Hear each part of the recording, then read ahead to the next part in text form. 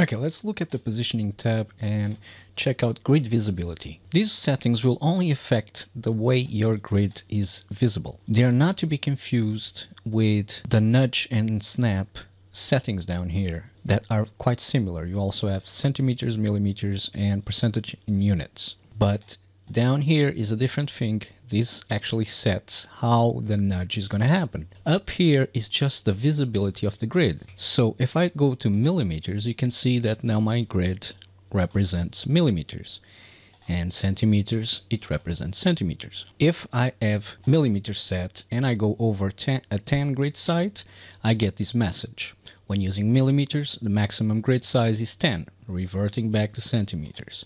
It goes back to centimeters. You can't have more a grid size bigger than 10 when you're using millimeters. But you can still work with millimeters under nudge and snap. You can still use millimeters down here. Now let's look at these snap and center options.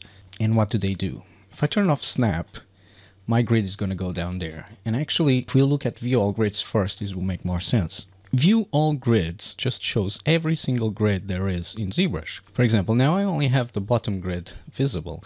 If I press view all grids, I can see all the grids, X, Y, and Z grids. And if I unpress it, I go back to whatever I had before. So if I had two grids or no, no grid at all here, I would go back to that setting.